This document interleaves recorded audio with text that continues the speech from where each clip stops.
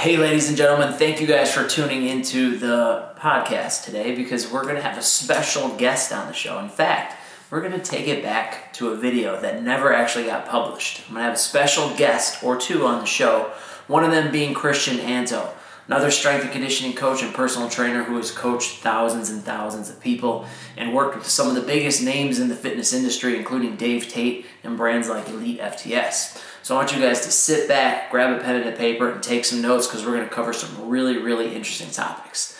Hope you guys are having a great day, and thanks again for watching.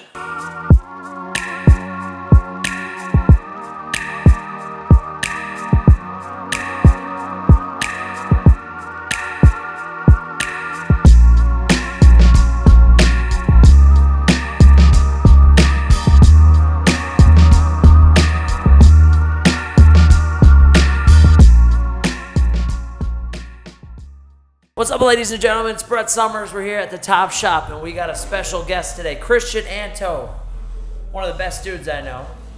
I appreciate that. I appreciate that. Elite FTS sponsored athlete, power lifter, fiance, Yeah. soon to be husband. Yeah. Shout outs to Julia. Three weeks out. Three weeks out, not from competition, but from a bigger day. Yes, much bigger. Which one makes you more nervous? Uh, wedding. The wedding? Yes, with Yeah. all. I don't You feel like you're gonna be. Ner- you're probably nervous when you're by yourself, not when you're with her. Yeah, because there's a lot of stuff to think about. When you're by yourself, Right. what are you thinking about? Right now, all the wedding stuff and all the stuff that has gone wrong, and then what you got to do to figure it out. See, okay, I'm going to say this right now. Dave Tate always talks about anything in the gym can be applied to outside life. It is literally the same thing. You are presented with a problem, you got to step back and you got to figure it out. We do this stuff every day, all day, programming. You have issues with clients and structure and all that kind of stuff. Planning a wedding, I'm, I'm going to be very careful with my words. It's Yeah, not wait, the- wait, wait, yeah, it ain't the same. It ain't the same, but there are lots of similarities with planning a wedding and planning out someone's training progressions for X amount of weeks. Give me a couple. Give me a couple examples. Scheduling, timing. If you're planning for a powerlifting meet, you have to have them peaked for that one day at that one time to perform to their best. You are timing multiple people doing multiple different jobs. Film crew, do one- pictures, it. food, It's caterer. Uh, who, who's who's doing the host? Like what what do they call it? The officiant, Oh, yeah. The, the yep, official, pastor, the yep, pastor, all whoever's stuff. doing the deal. and everybody has to sync up together and you get one day to get them all in the same room and go this is a plan break everything else is via text message phone call email it's, it's Yeah. a lots of similarities yeah, your best Lots. man is your is your handler. Yep, Right. yep, Is Somebody gonna have a chalk bowl for you. yeah So- somebody's gonna be up there with a chalk bowl and just a, a couple, yeah, a little torque, a little a little ammonia to get you rolling. I like it. That's what you'll have to do before it. Dude, that that make for a good. good idea. You'd get a lot of views. That would Yes, be yeah. that would be Right? hilarious. You might get a couple extra followers. Right. That's what it's all about, anyways. Why get married for any other reason? IG followers, baby. So, so we got that stuff out of the way. Now we're gonna pin Christian with a couple of quick questions. We didn't plan this out.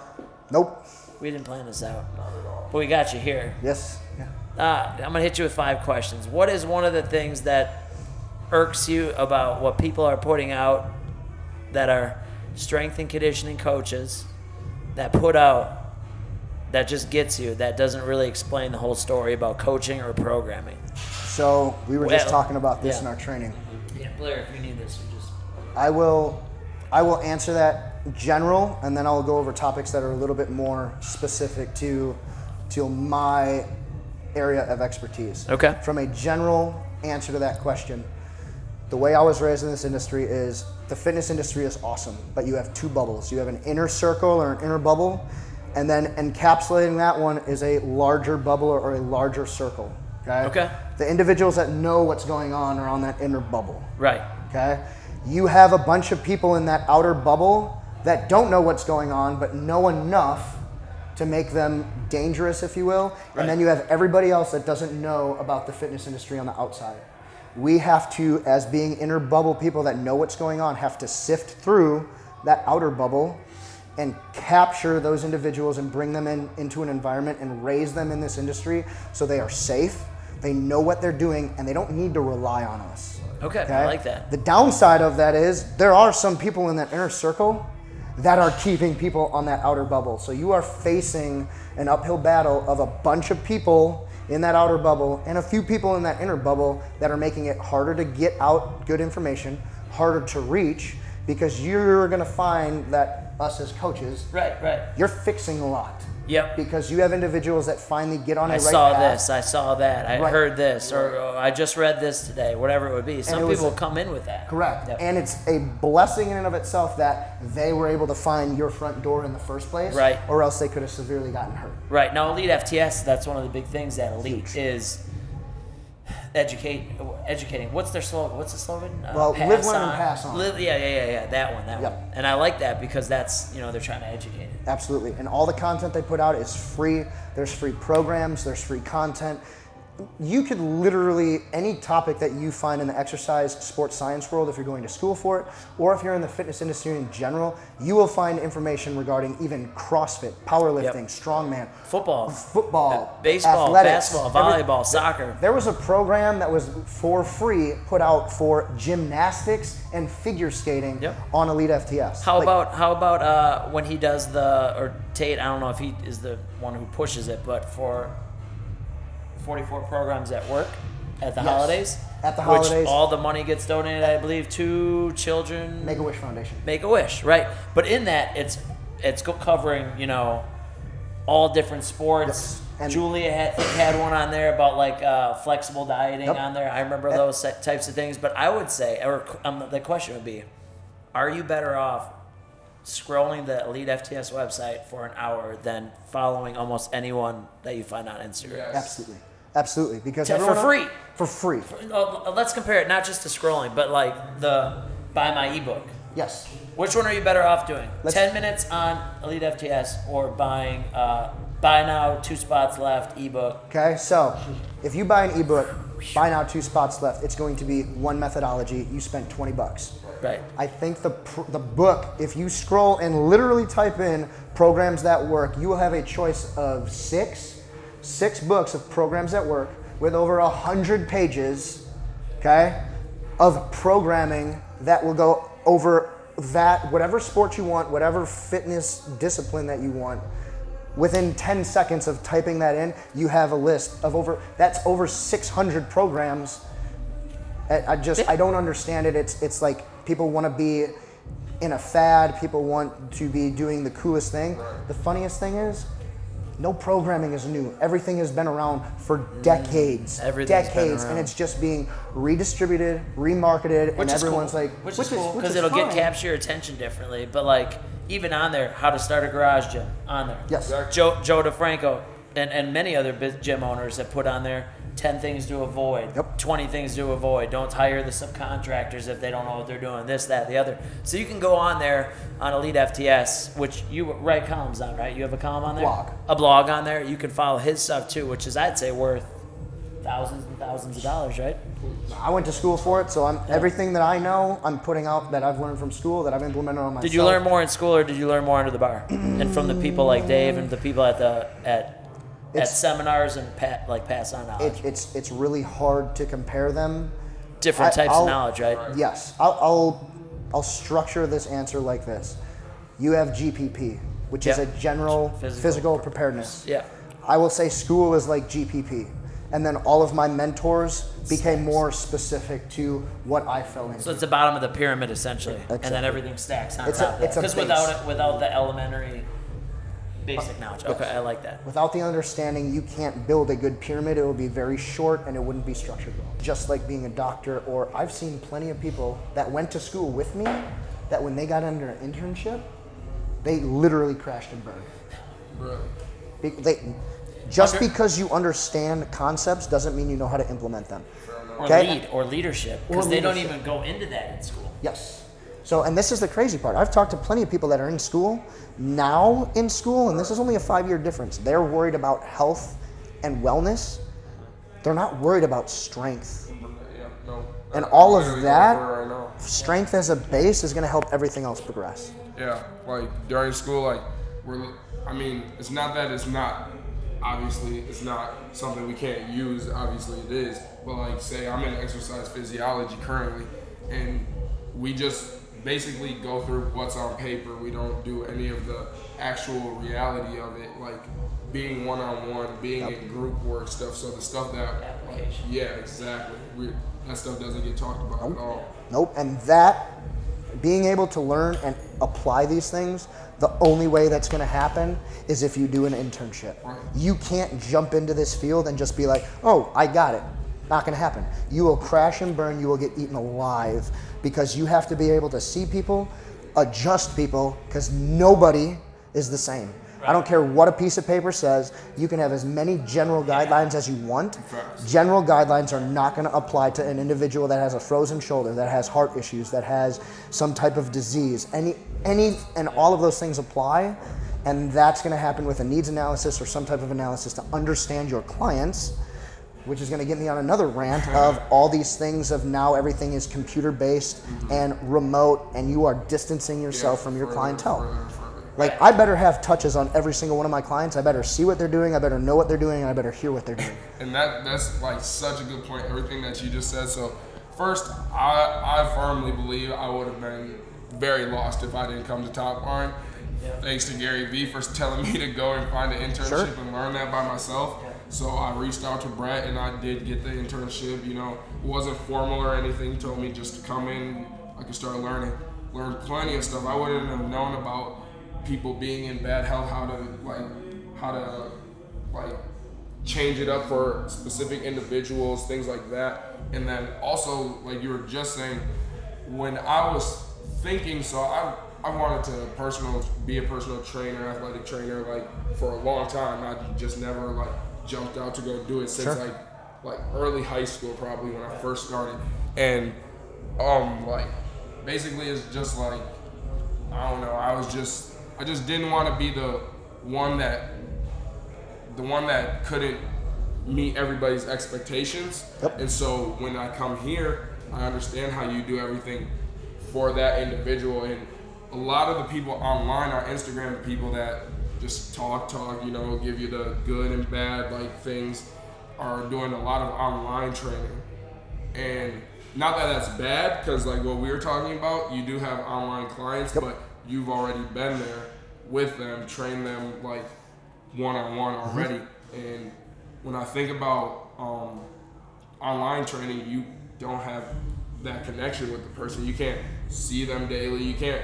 You can ask over text or maybe FaceTime like how their day went, but you can't really see Yeah, that. that'd be that'd be that'd be one of my questions for you. Is like as a coach, how, how important do you think it is to make adjustments? I feel like as a coach's job, your job, the reason they've got you, is to make adjustments Absolutely. on different variables: the training variable, the diet variable, the stress variable, whatever it is. Like how can the online coaching, unless you have that experience, unless there is an, an understanding, you know, just for 150 bucks a month, if I send you here, do this sets and reps, Right. are they pushing it? Are they straining? Is their form right? What are they doing? So I see the flaws that. It- It's I'm glad everybody wants to get in shape. I'm not going to salt anybody for trying to put something out there that's going to help somebody. I do salt the trainers though that are just putting out online trainers. They're just putting out programs, trying to get 100 people because they've got a little influence. Mm-hmm. Get 100 people in, and how do you give 100 people that you don't even see appropriate coaching? $150 is quite a bit to some people. It is, and this is where this is where individuals kind of separate themselves and and have a better following or have a better grasp of coaching. The way I like to look at it is you can put out a general template. A general template will aid people in getting from point A to point B. Yes. Because general strength, if someone has never done it before, even if they look at sets and reps, they will progress because they inadvertently are going to hit variables that they haven't been hitting before. Correct. Okay, there's certain nutrition plans out there and dietary guidelines like Jenny Craig. It's on a points-based system. They are focusing on one aspect of nutrition. If you focus on one aspect of tre- strength and dial it in, you're going to have some general results. Like like a muscle and fitness magazine, Correct. right? I used to make gains off of it. Sure. They'd put a workout in. They'd put the food diet in there. Correct. They'd say, "Here, eat all these things if you're trying to gain." And I'd eat it all in abundance, Mm-hmm. and I'd see progress. But at a certain point, Exactly. But if you do that over and over and over again, guess what? Your body is an adaptive organism. It's gonna adapt and say, "Ha, I know what this. I know what's gonna happen next. Like, I, we're good now." Okay? You need stimulus. You need that extra stimulus. You need to strain to make your body adapt. So, for me personally, online training and online coaching, I put time in all the time making videos. That's why I have a YouTube channel. I know that's why you have a YouTube I'll link channel. it up. I'll link it up right here. Should be pulling up right now. There is a physical section in my YouTube that's instructional. Yeah. Not just me. I am going to other people's YouTube and grabbing good instructional videos and posting them in mine. So now you have a data bank of information that if I say, hey, you don't understand this concept, bam. Now you have a visual presentation of what I want you to do. I have visual presentations of what I expect of people for squatting, benching, and deadlifting, and putting that information out to individuals. That's the first step. Second step is they go into their workout, they have to record themselves. If they mm. don't feel comfortable doing that, if you So don't you feel can comfortable, see it. You- exactly. And make the adjustment if And needed. then I can see it. Okay? If you record yourself and you just say, hey, I squatted, you're hiring me because you don't know what you're doing. Right. I can look at your squat and say, dude, you're screwing this up, you're not hip hinging properly. Try this movement of a regression so that you can progress your squat. So I am constantly in contact on Making a weekly, daily basis, making adjustments through Instagram or through Instagram because some people like to use Instagram as a training log, like I do. So you can look back. I do text messaging, emailing, FaceTiming, like any type of connection that I can have with my clients on a personal basis, it's gonna happen. I have email strands from one workout that range anywhere from 20 emails to 30 off of one workout just to try and get the communication down so they can progress. when you are hiring an online trainer and you see a video like what he's doing, like your blood pressure's through the roof right now. Uh, yeah, I don't know if any I'm of you guys warm. caught that, but he's like right now. I kind of backed off a Yeah, bit. yeah, yeah, yeah. So when you see someone talking about what they do that passionately, take note of that. Take heed of that. When you watch the Instagram girl who's 17, yeah. who's like, you know, all of a sudden they're dropping bombs on you about fitness, right? Because they saw it on someone else. They saw it on your page, and then they take it off and they go rip it. That's that outer bubble. And then you That's that and then you outer see a video of them talking. Oh, hey everybody, you know, sign up. yeah. You got to be leery of that, man. I, I don't want to hate on them, but you got to be leery of that. They're, they don't get this passionate. They're not talking about those details. And there's details. That's why you hire a coach to iron out the details, to give you to give you a program. Now we'll be back in two seconds to wrap this one up. Got some good stuff coming. All right, we're back, ladies and gentlemen. You're in a very very in-depth interview right here with Christian Anto, and we have my boy Blair Hargrove Sir. in the building of Gorilla Gains.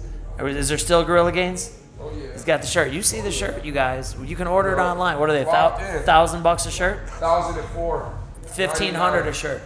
So we're gonna do a speed round of questions for Christian because he's a vault of information. So let's let's get this rocking and rolling. Oh man. When people talk about you have to muscle confusion, can you give yourself muscle confusion doing the same movement but training through different styles of training? So let's say I flat bench Okay. three weeks in a row. Yes. Can I create muscle confusion other than doing different movements? Can I keep benching, but can I do speed work? Can I do uh, reverse band work?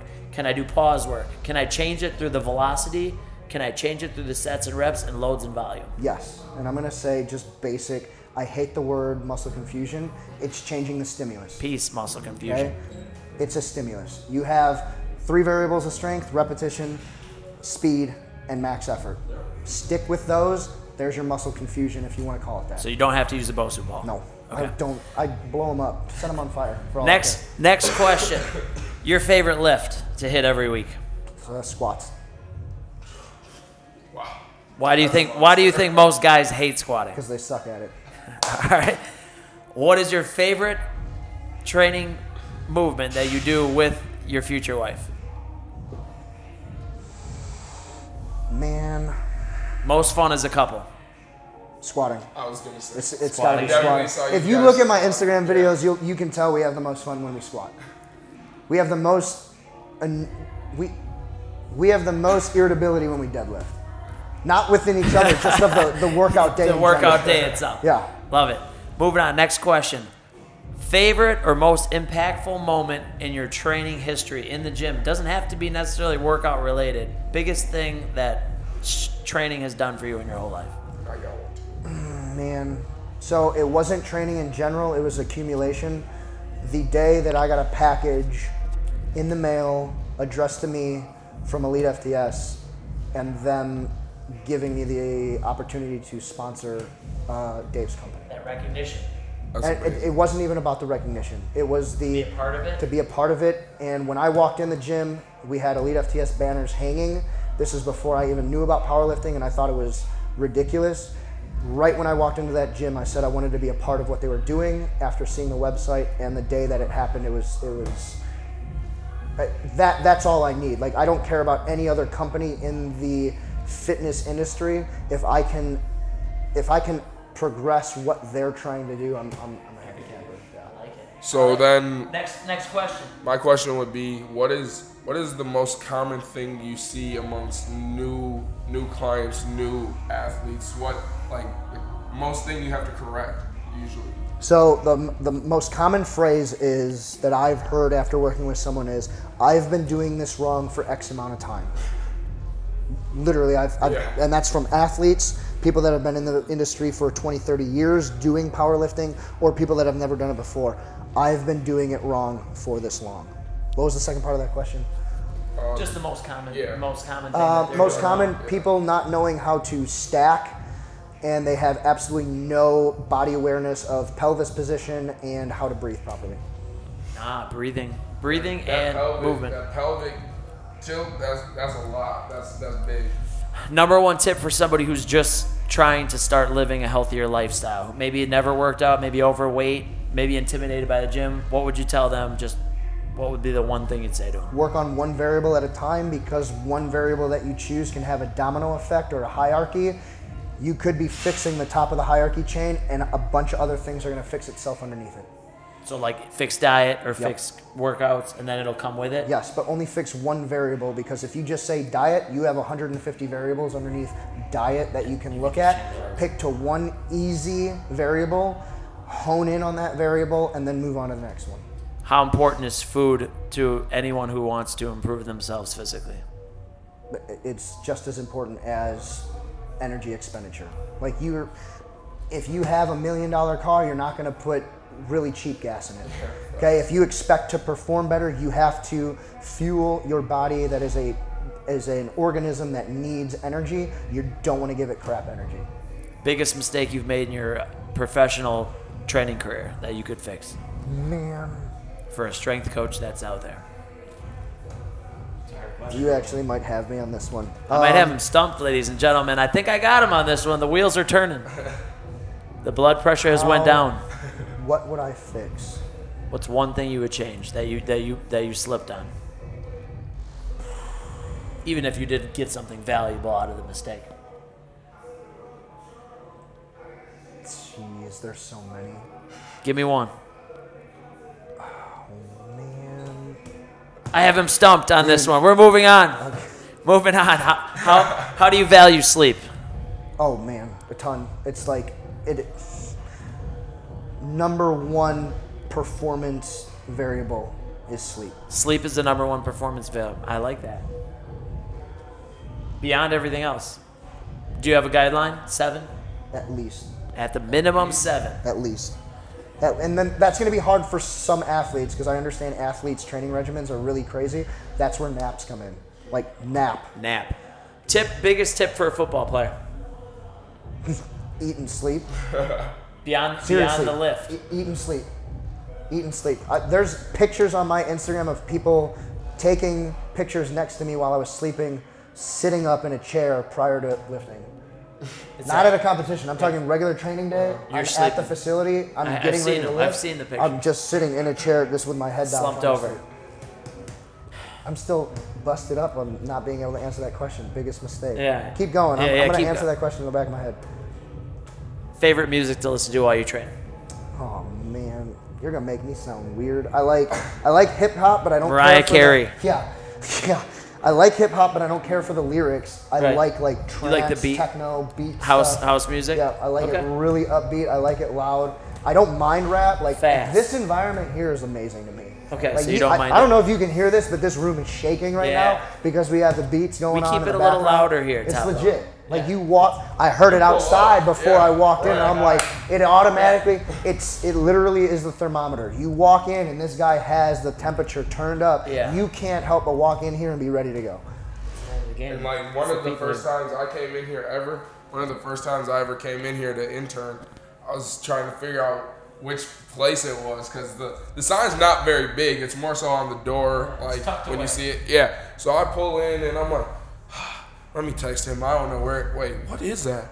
Is that Tupac? Boom, boom, boom. You just hear the bass just knocking. I'm like, I'm guessing this is probably the spot. Like, it's it's It's amazing. either that or the people doing uh, Westside GPP in the parking lot, up Yeah. and down with dragon sleds Yeah. everywhere. Shout outs to Louie. I got it. He's got the Answering my he's got the biggest mistake. Let's biggest get it. mistake was not investing and spending money to fly out to other strength coaches for continuing education. Staying in his comfort zone Yes. and not spending money. Yep. Two of the biggest things that are going to kill you, no matter what area you are in life. Mm-hmm. Spend money and get out of your comfort zone. I love it. Christian, my man. Pleasure as always. I love this interview. It's good. It's full of value, Yeah. chock full of value. Help people out. I hope you guys enjoyed it. Um, this wasn't a show. No. Normally we have the show up there. We're representing Top Line Athlete University. Why not give it a little plug here? Break out your wallets. Break out your credit cards. Pull on your pull on your parents' sleeves. Make sure that they're ready to get you in here. If you're a football player in Wisconsin, college, high school, youth, this is the place you want to be. That's all I got. Thank you, Christian Antel, for coming in here. Sir. Blair Hargrove for showing off a little bit, showing off the dreads a little bit. I got you. Still got hair, right? I do. You got hair. I got a mohawk. Mohawk, baby. Mohawks, dreads, and then a bald guy. There's always a bald guy. There's always a bald guy in the equation. Thank you guys for watching. If you have any questions, let us know. This will be in long form content on IGTV and YouTube and everything else, chopped up in a little bitty pieces on Instagram. We'll see you guys soon. Hey, thank you guys for tuning in and checking this one out. I hope you guys got some good information out of it. Again, that is our main objective is to be able to encourage you guys, motivate you guys, but also educate you guys a little bit so you can become not only better strength and conditioning coaches and personal trainers, but also if you're a client, you can get a better understanding of where your coaches are at in their thought process. I hope you guys have an awesome and amazing rest of the day. Thank you again for tuning in to the Brett Summers podcast. We'll catch you later. Oh, and don't forget, like, subscribe, share, and comment on this so we can uh, bump ourselves up the ranking, especially if it helped you out and help us out in return. Catch you later. Oh, ring the bell too. See you later.